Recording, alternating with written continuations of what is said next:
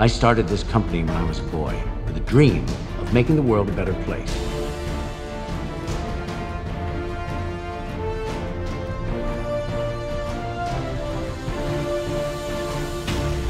Back Autobots, Decepticons, and everything in between to another episode of Fixing Transformers. In today's we're going to take a look at the history of KSI, better known as Kinetic Solutions Incorporated, and this will serve to be a part 1 video to how Galvatron became Megatron, along with setting up the seeds for what happened in Mexico City, and it will also go into how KSI drones work. So without further ado, let's jump right in. So as a brief recap, Kinetic Solutions Incorporated was the company in Transformers Age of Extinction who made the man-made Transformers prototypes, which were ultimately taken over by Galvatron who turned them against the humans. And after Age of Extinction, KSI was never mentioned of again, besides some of their prototypes showing up for a brief second in Transformers The Last Knight. This leads to many questions being asked. For example, what happened to the company after Age of Extinction? How did Megatron become Galvatron? And what became of its founder, Joshua Joyce? So to answer all these questions, let's start from the beginning of KSI's lifespan. According to the film, Joshua Joyce started his company as a boy, with the dream to make the world a better place. We don't know what year KSI was exactly founded in movie continuity, but this can be easily sorted out. The actor for Joshua is played by Stanley Tucci. Tucci was born in 1960, and since Joyce tells us that KSI was founded by him when he was a boy, this means that his company would be founded no later than when he was 17 years of age, since after 17 you're an adult, which makes the founding of KSI roughly at 1977. Now up until the events of Age of Extinction, Joshua Joyce became a billionaire thanks to the KSI company according to Harold Attinger, and that's because KSI is a defense aerospace company, which specializes in creating aircrafts, along with manufacturing weapon systems for the United States government. And this is backed up when Cade Yeager says, Defense, aerospace, government contracts? When they designed this drone. And those government contracts will come into play later. Now, eventually, in movie continuity, 2012 rolls around, and that's where the events of Transformers Dark of the Moon take place. After the Battle of Chicago, many lives were lost due to the Autobots' war with the Decepticons. Tensions between humans and Cybertronians had risen dramatically after the battle. And although the Autobots are officially granted asylum on Earth, the public's opinion on Transformers has turned against them. Because of this, the government of the United States terminated all human Autobot joint programs, which ultimately got Nest shut down. But to still combat the remaining Decepticon forces on Earth, the government put in place Cemetery Wind, an elite Black Ops CIA unit, finishing what Nest started, with the new organization being intended to flush out the handful of Decepticons left on Earth, with its founder being longtime CIA agent Harold Attinger. And Attinger will become very important in a bit. The government, still worried about possible future Transformers attacks, gave Kinetic Solutions Incorporated a special government contract to collect remains of the dead Transformers and reverse engineer their technology to be turned into weapons for the United States. This would lead KSI to conduct a huge cleanup effort, cleaning up all the Transformer scraps they could. Now, something to note for a long time on Earth, there's been a rare Earth metal that interested KSI, but they couldn't figure out what its purpose was. During the events of Age of Extinction, more of this mysterious metal will be found by Joyce's ex girlfriend, Darcy Tyrrell, an archaeologist who worked for KSI. She would be in the Arctic when she would find these dinosaurs cyberformed into this metal. This would lead her to come up with the conclusion that instead of the meteorite that wiped out the dinosaurs, it would have been this mysterious metal. This metal caused the Great Extinction. How and why I can't yet say, but carbon dating puts it at 65 million years BC. Now KSI would find out the metal's purpose once they started melting down the bodies of dead Transformers, creating the connection that this rare earth metal originated from them, dubbing the metal Transformium. A rare earth metal. And then the aliens came, and we made the connection. Transformium. That's what we're calling it. Focus grouped, catchy, trademarked. Now what KSI would do once they have a dead Transformer would be to sever its head so they could download its mind for further study. And when they were done with the head, they would go to the melting plant to be turned into Transformium, which would be used to create their own Transformers, which they would call prototypes. Now KSI may have struck gold by downloading minds and having a bunch of Transformium thanks to the Chicago War, but they were struggling to actually fulfill their goal on creating a successful prototype, and more or less programming Transformium. They would try and try to make it work, blowing tons of Transformium in the process. Now, though the point how they blow Transformium was never stated in the film, it can be inferred since in the scene when Joyce is talking to Attinger, we hear his concern in needing more Transformium. I need more Transformium, and I need it now to build more prototypes. So with this in mind, we can conclude that KSI has little Transformium left. Now you may be saying trans. How could they run out of Transformium if their ship's still around when Age of Extinction takes place? Along with the Driller being a massive monster, which could supply KSI with the Transformium they need for centuries. Well, if you think about it, Transformium comes from Transformers, not ships. I believe that the ships are made up of a different type of metal, that is non-programmable. And for the Driller, well, if you think about it, he's not a Transformer. He never had a robot mode, and plus, it's speculated that the Driller is a creature that Shockwave created, hence why it wouldn't produce Transformium. Since if it did, KSI would have not needed to worry about its transformium supply. And the transformium crisis can be further backed up when Darcy was talking about transformium with Cade Yeager. I'm out there digging for it. There's just not much left to find. So that's how badly you boys need more, huh? Reduced to melting evil old Decepticons down. Joshua, faced with a transformium crisis on his hands, would need to figure out something fast if he wanted to achieve his goal on creating man-made transformers. And luckily for him when he came in contact with Harold Attinger, Attinger was happy to oblige. You see, over the years, Attinger came to the conclusion that humanity would be safer off if all transformers were gone from Earth. Aren't they our friends? Why? Because our world will never truly be safe till all of them are gone. And since Attinger was highly respected within the government, serving the CIA since 1992, officials would be keeping a close eye on him, letting him to be able to run certain aspects of a Cemetery Wind unit unannounced to the rest of the government. And knowing this power, Attinger went on his quest to eradicate all Transformers from Earth. He would eventually come in contact with the Cybertronian bounty hunter Lockdown, and Lockdown wanted to hunt down Optimus Prime and bring Prime back to his creators. Lockdown agreed to help hunt down the remaining Transformers on Earth, hoping to get some information out of them on the whereabouts of Optimus Prime. Now, with this in Attinger's pocket, he sparked a three-way deal between Lockdown and Joyce, and I'm quoting from TF Wiki here. Attinger would assist Lockdown with a safe apprehension of Optimus Prime, and in return for Prime, Lockdown would give Attinger the seed. The seed would be given to Joyce, who would give Attinger 5 million shares in the soon-to-be thriving KSI, allowing Attinger to retire early. This complex deal would rid the world of Prime and the Transformers Attinger so despised, and provide the United States military with an army of man-made Transformers. Lockdown also assists Attinger in hunting down other Transformers on Earth, whose remains would be given to Joyce to further production of man-made Transformers and lure Optimus out of hiding. Now you may be thinking that Attinger's doing this out of the goodness of his heart, to protect the world that he sees so valuable. Well, that's not the full story, you see. A large part of his crusade against Transformers is to secure enough money for a healthy retirement, and his greed is not just for money, but for fame. Harold Attinger desires recognition for the things he's done, and getting the world rid of Transformers would be his golden parachute to recognition. I have served my country for decades of unparalleled prosperity, and you are my golden parachute. So you are damn well jumping out of the plane with me. You see, it takes patience to make a man. The patience to watch and wait to protect all of us quietly for God and country without any recognition at all. Now if this deal in place, Joshua Joyce would not need to worry about Transformium anymore, since Attinger would handle that part with the help of Lockdown, along with the seed, which once detonated would produce enough Transformium to last Joyce a decade. But Joyce would soon realize, if KSI would ever want to program Transformium and make it work, they would need an insider who knew the technology, an actual Transformer, if they ever want to fully understand and make the technology work and this would be achieved once they recovered the Autobot brains from the wreckage of one of the Decepticon motherships. And to learn more about Brains, check out my What Happened to Brains video. But once they got Brains, Brains was basically put into slavery, serving KSI. And as Brains puts it, No union, no benefits, no nothing. They put him in a glass box, where he was forced to help KSI engineer the prototypes. And if he would complain or speak out, he would get tortured by getting zapped, along with getting waterboarded. This and worst of all, getting his leg torn off. And though this one is never stated, but if you think about it, if you watch my Brains video, Brains scanned Wheelie to get his tires that he has on him now, meaning that he got that updated robot mode once he was awakened out of stasis, and the only way to get his leg severed would have to be through the torture from KSI. Now, KSI would give Brains severed Decepticon heads that he would have to do a mental autopsy on, to collect any data that still remained on them. But Brains would find out a chilling discovery once he started his autopsy on Megatron. Megatron's mind was actually still alive. And over the years at KSI, Megatron would become aware of KSI's alliance with the Cybertronian bounty hunter Lockdown, and the CIA task force Cemetery Wind. Megatron would come up with a plan to manipulate KSI in going after the cyberforming seed, which once KSI got, Megatron would steal it, and the seed would allow him to create enough Transformium to build a massive Decepticon army to replace all the fallen soldiers who died in the Battle of Chicago. He's been playing KSI all this time. All so that he can manipulate him into going after the seed.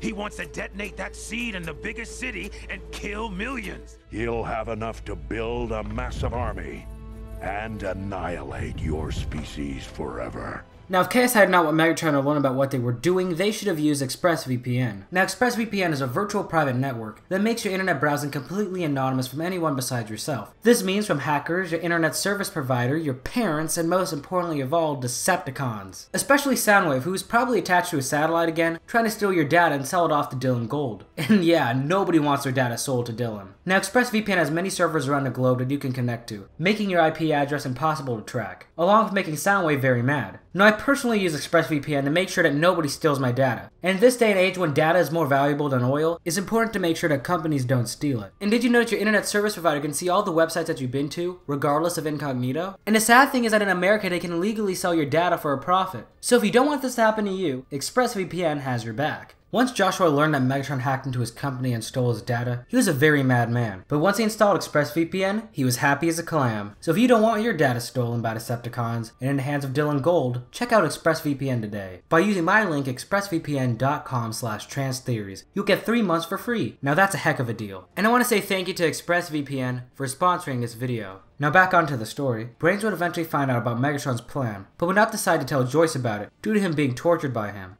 You knew this and you didn't warn them? Little girl, you can go to a pretty dark place when you're on death row. You dumb greedy bastard just brought extinction to yourself. Not my problem though. Now if Megatron's plan set in motion, if he ever wanted a new body, he would need to teach KSI how to use Transformium, the code that Joshua Joyce was trying so hard to crack. So Megatron fed KSI science, specs, and history about Cybertronians. This little gentleman has been translating for us all the information that comes from these two heads.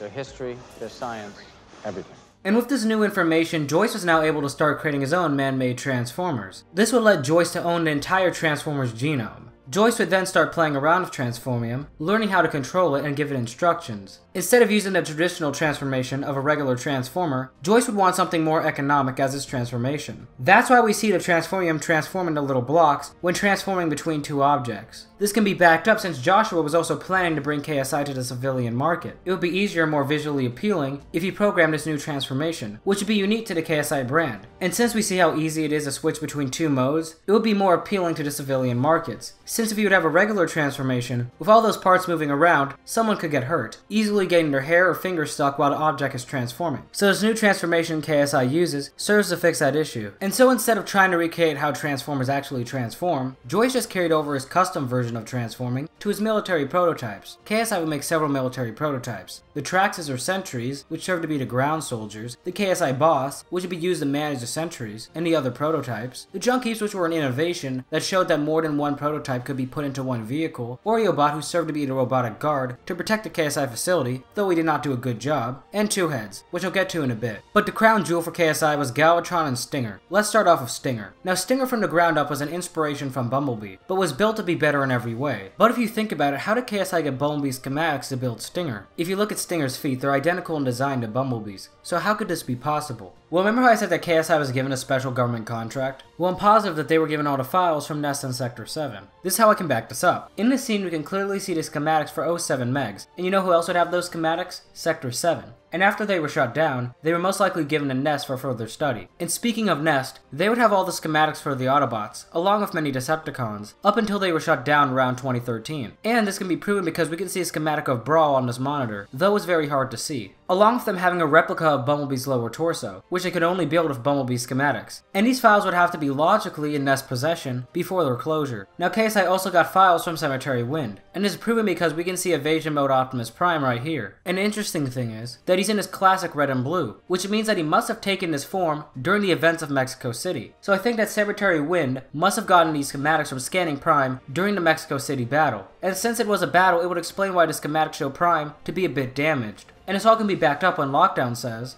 So what happened in Mexico City? Well, you had him. Three direct hits, a mortal wound. Then your men allowed him to escape. What happened to you?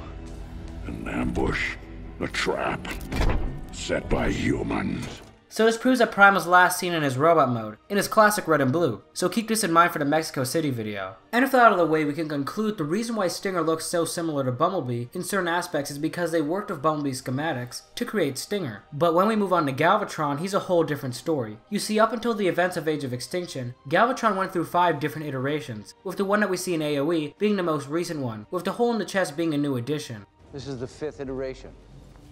Why does it keep turning out like this? Now you may be wondering when they made Stinger, he came out perfectly, along with all the other KSI drones. But once Galvatron comes around, it's a different story. So why is that? Well if you remember, Megatron was still alive, and so he was able to give the knowledge of Cybertronian history to KSI, through brains decrypting the data. And since if he could do this, I believe he could somehow create a virus, letting him have a backdoor within KSI, giving him access to everything they were doing. Now this can be backed up since if you remember, Brains knew exactly what Megatron was trying to do, and because of the torture he received, he decided to let Megatron do his thing to get back at KSI. Now if Megatron assists him, he can manipulate anything at his will, but for the most part he wouldn't tamper with anything, besides giving knowledge of the seed to Joyce. Since Megatron knew that Cemetery Wind would only hunt down so many Transformers, and that Transformium would eventually run out. And if you remember after the events of the Chicago battle, the Decepticon faction was in shambles. With all its key players dead and an army destroyed, Megatron needed to do something more than to just get a new body. He needed a new army. So by giving KSI knowledge of the seed, it would let Megatron rebuild the army that he so desperately needed. And with KSI creating man-made Transformers, he would be able to be given a new body, way stronger than his previous ones, and in similar specs to his original form from 2007. Along with Cemetery Wind and Lockdown taking care of Prime, nothing would stand in the way in Megatron's conquest. And I may be wondering how Megatron knew about the seed. And well, he's not the only Transformer who knows about it, since his archenemy Optimus Prime also knew about it, along with the Autobot Hound. And they took something that they called the seed. Listen, 60 million years ago, give or take an eon, thousands of planets were cyberformed with seeds. So if Prime and Hound knew about it, it's likely known by all Transformers, and it was by chance that Lockdown was able to supply one to the humans, since without it Megatron's plan would have fallen through. So to circle back on the question on why Galvatron turned out different, it was because Megatron was able to hack into the rendering sequence of Galvatron when he was getting made, creating the Galvatron body into his own image. I modeled Galvatron after Optimus Prime. Why does he keep looking like Megatron?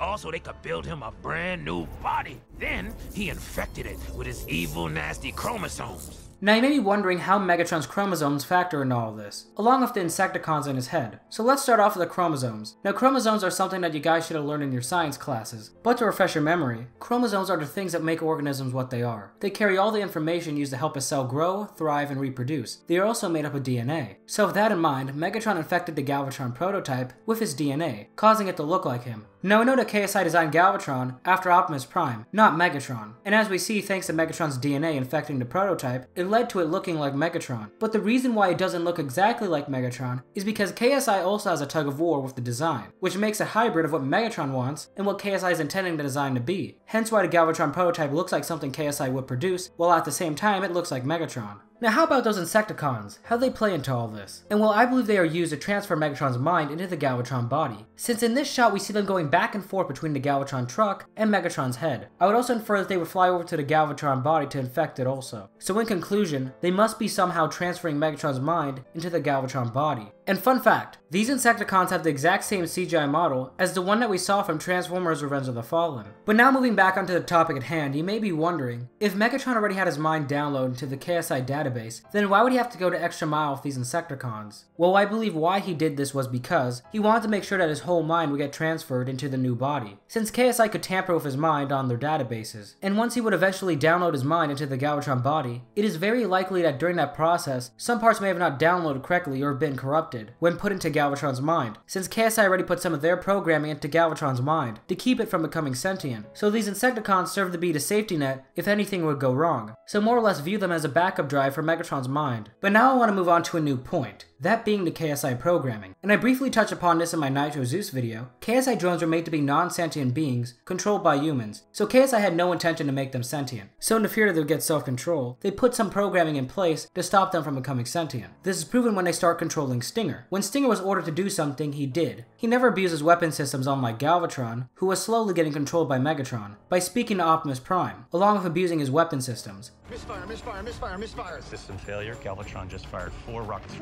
And he spoke. How did that happen? This is further the case when Megatron gets full control of the Galvatron prototype. The first thing that comes out of his mouth is I am Galvatron. Galvatron! And since we know that Megatron is disgusted by human technology, under no circumstance would he say this willingly. And thus he eventually trashes the Galvatron body and goes back to being Megatron which I'll be explaining in a future video. But to put the nail in the coffin for this sub-theory, take a look at this line of dialogue. We are programming this, right? Yes.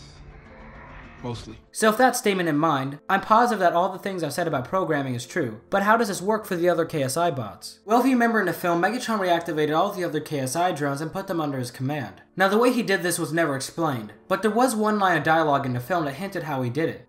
Galvatron's hacked into the others. What?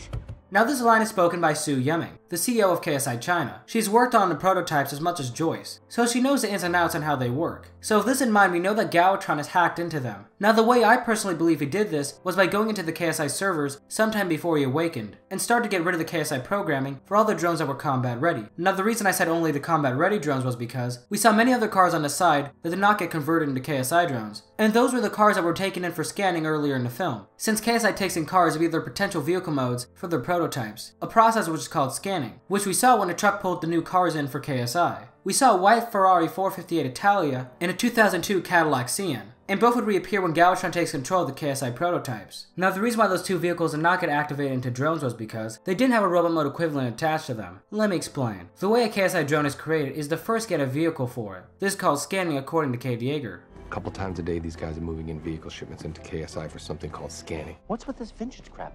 We're not scanning collector car junk. Now though it's never stated if this is the first step, I believe it is, since the robot modes are based off of the vehicle modes that each KSI bot is linked to, besides Boss and Two Heads, but I'll get to them in a bit. The next step after the vehicle is scanned in is to create a design for what you want your KSI bot to look like. And once KSI would find a design they would like, they would then take it to the rendering sequence, where the design is fully built of transformium, that comes out of the tanks at the back of the station. And this put over onto the exoskeleton of the KSI drone, where it creates all the internal and external parts of the drone. And if the KSI bot fulfills KSI's vision, I assume it gets lowered down to the trap door that we see under Galvatron to be transported to the next phase, which is linkage. Now linkage is a concept that I've come up with, to explain how a KSI bot gets its vehicle mode. Now as we know, KSI bots are made up of transformium, which is programmable metal. So with the schematic file of the vehicle, they connect that to the robot mode design, creating a linkage between the robot and vehicle mode. So once the KSI bot would transform, it would shapeshift into the vehicle it was linked to. Now linkage is also used for the weapon systems in robot mode for the drones. As you can see when a KSI bot transforms, it fades into existence, while the same fading is seen when a weapon is deployed. The reason why it's not used for vehicles because the vehicle mode weapon systems are more or less built into the vehicle itself, not needing weapon linkage, proven by the fact that it transforms out of the car instead of fading into existence. Now the last and final step in creating a KSI drone is to fill it up with Energon. Now as we saw with all the KSI drones, they leak out green Energon. Now the reason why it's green Energon, and not like the multiple different colors from the original three films, was because after Dark of the Moon, they decided to keep Energon a consistent green in the Bay films. So with that in mind, we can conclude that the way they got the Energon for their drones was most likely through draining the dead Transformers and repurposing their Energon for their drones, concluding why all KSI drones have green Energon.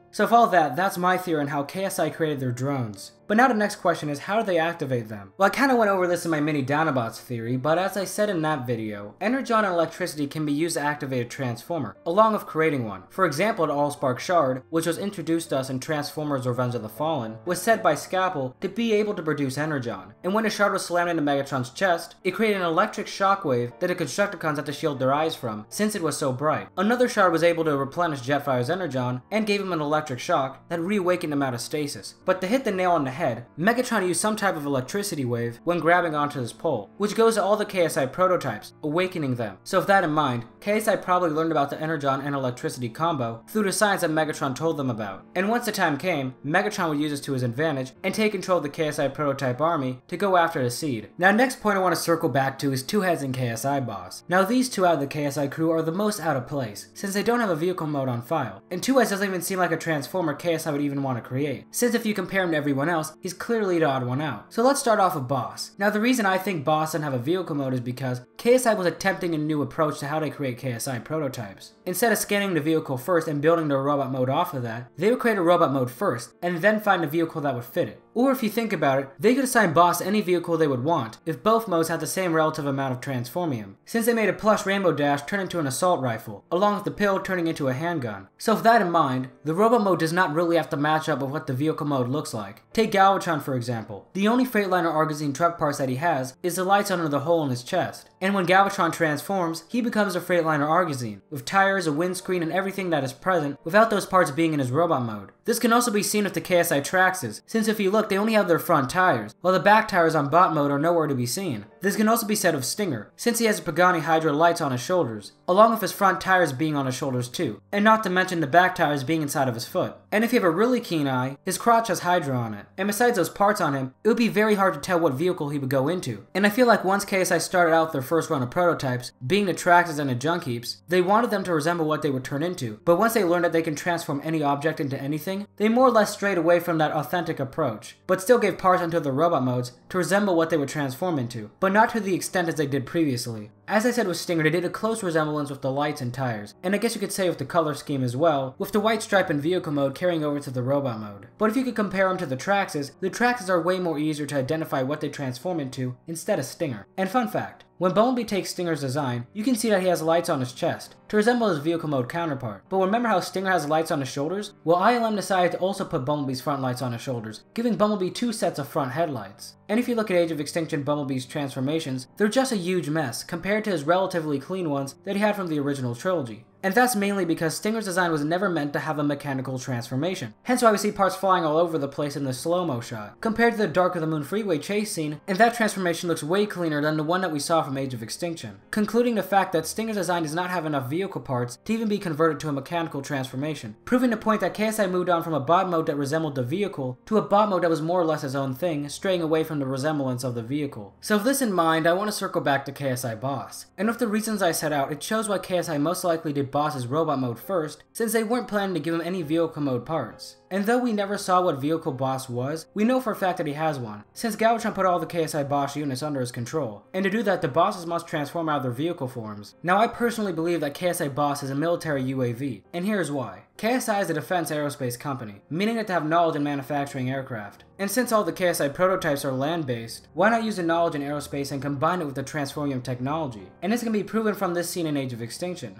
Aerospace, the military, we will own the entire robotics industry. All exploration.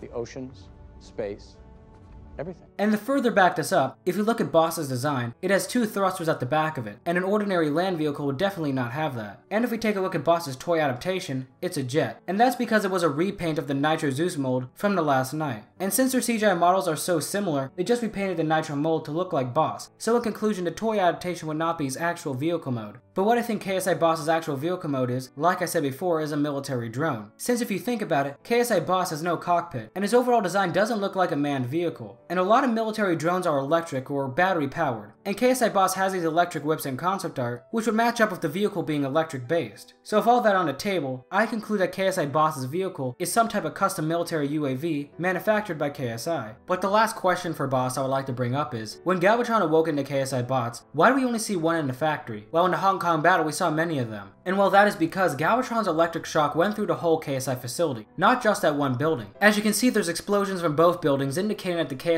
drones were awakened from inside the adjacent building. And there's a likely chance other KSI bosses were stored there, hence why we see more bosses in the final battle. And to push the energy effect even further, in the shot we see two different sets of junk heaps. But when Galvatron does his electricity thing, we don't see the junk heaps appear in the shot, but we know for a fact they join up in the final battle. So with that in mind, I hope it shows that every combat ready KSI drone was activated within KSI's manufacturing plant, leading for all of them to show up in the final battle. But now let's move on to the most confusing KSI bot, Two Heads. Now Two Heads is an interesting case, since he seems to be like something KSI would never create. And like I said before, if you compare him to everyone else, he's clearly the odd one out. And honestly, he doesn't feel like a KSI bot, but what if I told you that I may have found out the answer on why he looks so out of place? Currently, the theory that I have is that he was an experiment to understand Transformers' anatomy. If you think about it, many Decepticons were brutally murdered during the Battle of Chicago, but Shockwave's body stayed relatively intact, besides him losing a kidney along with getting his face finagled by Prime. And if you look at the Two Heads design, all the parts that got damaged on Shockwave were rebuilt, with the parts that were not damaged being the arms and the legs being copied over to the Two Heads design.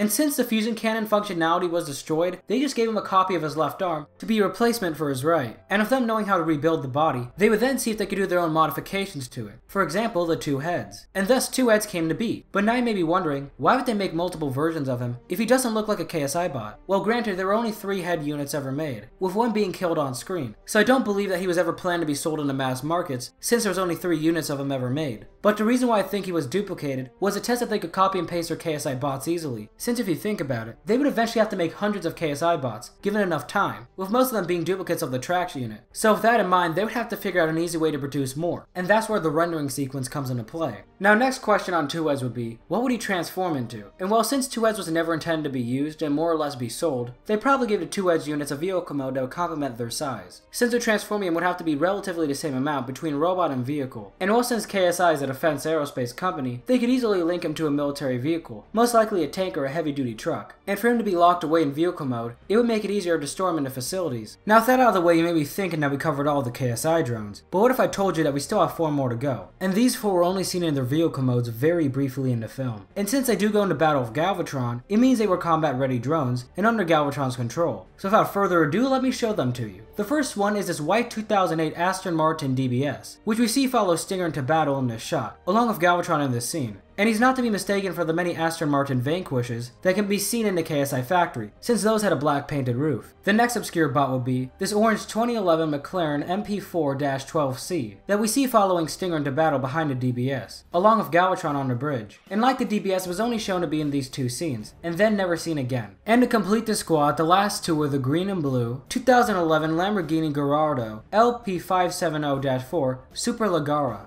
with the green one making a better appearance behind Galvatron, which we're only seeing driving on the bridge. Now these four KSI bots have no bios whatsoever, besides TFWiki notifying the existence of the Aston Martin and the McLaren, but giving no insight on their character or personalities, and whether or not they died in the film. And since nobody else is to do it, I decided to make some bios for these guys, so they can hopefully be recognized in the future. Let's start off with the Lambos. Since like the Traxes, they both have the same vehicle but in different colors. This would most likely mean that their robot modes would be identical. So for these two, I'll call them the KSI Enforcers. They would be more powerful powerful than the KSI Traxes, being overall faster and having superior firepower. More or less view these guys as the Black Ops unit for KSI. These units do the more sophisticated jobs that the rest of the bunch can't do. They more or less get their hands dirty so the world stays clean. Now let's move over to the Aston Martin DBS. Now since there's not multiple units of this character, this would mean like Stinger and Galvatron, it would be its own thing. So for this character, I would give it the name Knockout. Now I know the image is of a Lambo and not a DBS, but what I'm trying to convey is the overall design, with this character being unique for having arm blades, similar to Dino from Dark of the Moon. Now the reason gave him the name Knockout was because, if you remember in Transformers Prime, their incarnation of Knockout's vehicle mode was inspired by an Aston Martin. And Knockout was one of my favorite Prime characters in the show, so this way kind of brings him to the Bayverse. And for what role he would serve for KSI, he would be created to see if they can make a prototype that could excel exclusively in hand-to-hand combat. This would make the Knockout prototype agile and fast, and perfect for most combat situations. And last but not least, the McLaren. Now like Knockout, since there's no multiple versions, this would mean that this prototype would be its own thing. So for this character, I would give it the name Widowmaker maker now the reason I chose the name Widowmaker is not because my friend Alvitos is a pro Widow but actually because Widowmaker was a scrapped concept for Transformers Age of Extinction. Now the Widowmaker concept art was an early version of Stinger that would eventually get scrapped, most likely because the design was too humanoid, and not really fitting with the KSI aesthetic. So for the McLaren, I decided to bring that scrapped concept back. And as you can see, the design has a Pagani Huayra lights on it, but imagine them to be McLaren headlights instead. But the purpose she would serve for KSI would be as an infiltrator. Like Knockout, she'd be agile and fast, but with the added bonus of being able to adapt to any situation, and to be able to learn all fighting styles get thrown her way, ultimately creating the perfect infiltrator and assassin in the long run. So yeah, I hope you guys like these bios of these four very obscure characters, even more obscure than Revenge of the Fallen's Buckethead, and I love that Buckethead finally got the attention in the fandom that he needed, with people creating their own Buckethead figures, and actually calling him Buckethead, the name that I coined for that character back in the day. So I eventually hope these guys get accepted into the fandom like Buckethead did, and I hope that their origins and designs expand upon the vague template that I gave for them. Now last question on his guys would be, what happened to them? And well since we never saw them in the film during any battle, we can't really say if they survived or not, but I personally like to believe that they made it out alive. Maybe Galvatron knowing those four were the best of the best, sent them to go after the rest of the Autobots, who were in the Knight Ship. But since it was such a heavily forested area, they never came close, and eventually once they got back to the city of Hong Kong, the battle was done, leaving them to retreat and regroup with Megatron. But we're not done yet, since we still have to cover what happened to the KSI company, along with its founder Joshua Joyce, and the rest of the KSI drones who survived. So let's start off with what happened to KSI. And if you think about it, it's kinda obvious. If you look at it in a real world perspective, we know that transforming was the greatest achievement since the splitting of the atom, according to Gil Wembley. This is the greatest advance in modern physics since the splitting of the atom. Now, if you think about it, even though the KSI boss made a huge mess in Hong Kong, the potential for this technology would definitely still be in demand, especially for the United States military. I don't think that Joyce will continue to make prototypes, since in the film he realizes that they were too dangerous to create. Maybe if he learned that Megatron hacked into the system and was the cause for all of them to become evil, then Joyce probably would go back to making prototypes, but with extreme caution. But to move on to the question of what happened to the KSI company after, I'm positive that they would not stop due to all the military funding and government contracts that are connected to their company. If they would take a break from the prototypes due to the destruction in Hong Kong, then they would most likely start perfecting their consumer market. They clearly have contracts with many weapon companies, along with Oreo, My Little Pony, and Beats Electronics. So it's safe to say for the consumer markets that they would make products that would interchange. Maybe a fork that transforms into a spoon along with a knife. They would also work on their military contracts. For example, a bazooka that turns into a submachine gun, or a tank that can transform into a helicopter. Honestly, with the Transformium technology, the possibilities are endless. As for Transformium, they would most likely run low again, but they could recover most of the KSI drones that were killed, along with the two Transformium grenades that Lockdown detonated. So they would have enough Transformium for a time, and by the time the Last Knight comes around, maybe KSI made a deal with the TRF to hand over any dead Transformers to them so they could continue to melt them down into Transformium. But to move on to Joyce himself, I'm sure he would stay CEO of KSI, since his dream to make the world a better place would still stick. He would feel bad about the destruction in Hong Kong, caused by his prototypes, and since he's worth over $20 billion, which was stated in the film, he would pitch in to fix the damage that he caused, rebuilding and giving new homes to all that suffered in the attack. And at the end of Age of Extinction, Tessa says that their house got blown up, with Joyce saying I think I can help with that. I'm positive that the Yeager family got a new home from Joyce, along with giving the necessary funds to put Tessa through college. And since Cade is an inventor like him, Joyce would probably give him a spot at the company, where Cade would probably work for a while until the TRF was formed, which made all Transformers illegal on Earth, besides in Cuba. And with Transformers now becoming illegal, Cade would quit his job at KSI and start doing rescue missions for Autobots who were getting tracked by the TRF. Knowing that Cade would need an anonymous place to hide, Joyce would get in contact with his old buddy Sherman, where Sherman would give Cade a junkyard that he could use as a base of operations, along with a sanctuary for the Autobot refugees. And to fully wrap Joyce's story up, during Age of Extinction, there was a romantic subplot between him and Su Yueming that was left on a cliffhanger, so maybe the two tied to knot and expanded the KSI company around the globe to give poorer nations access to Transformium. Overall doing good for humanity. All in all, fulfilling Joyce's boyhood dream to truly make the world a better place. And with that, let's answer the final question on what happened to the rest of the KSI drones. As for Galvatron, he would eventually make his way to find his creators, which I'll be explaining in my What Happened to Galvatron video. As for the rest of the KSI crew, this is where it gets interesting. You see, once Galvatron set the KSI bots free from their programming, over time they began to create their own personalities with their new sense of free will, along with being able to transform like a regular Transformer. Now the transformation part can be proven when we see the Junkies transform. For a brief second we can see parts on the garbage truck more or less move around and shapeshift before going full-blown Transformium. For example, look at the Mack logo at the front of the truck. Now why is this important you may ask? Well if you remember Transformium is programmable metal, in case I programmed it to have a fancy block-like transformation. Now take that programming out, which was what Galvatron did, and a Transformium is eventually going to heal back to its original state. As we can see with the Junkies cab, it started to partly transform, meaning that the Transformium is slowly reverting back to its mechanical transformation. And if you saw my video on the origins of Nitro Zeus, you know that the last KSI boss will become Nitro Zeus through this process. And as for all the other prototypes, I think they would follow suit like Nitro did, with each of them following their own path and where they wanted to go. Most likely most of them ended up in the TRF jails like Nitro did, since TRF has surveillance all over the world, managing all known Transformers activities. And as we saw in Transformers The Last Knight, we saw the Junkie trio have an argument about something, and fight in the streets. And how would they be able to fight if they still had KSI's programming? Concluding that all the surviving KSI prototypes became their own beings, and over time were able to transform like a regular Transformer. And just like that, that was the story of KSI. I hope you guys enjoyed this video, and if you haven't already, check out the Fixing Transformers playlist for some more awesome theories. But before I go, I want to say a big fat thank you to all my Patreons and channel members for supporting the channel. It means a lot, and I could not do it without you guys. So big fat thank you to you. And as always, if you enjoyed this theory in the Fixing Transformers collection, please give a like rating because it helped the channel a lot. And as always, it's been Trans Theories reminding you guys to never stop theorizing.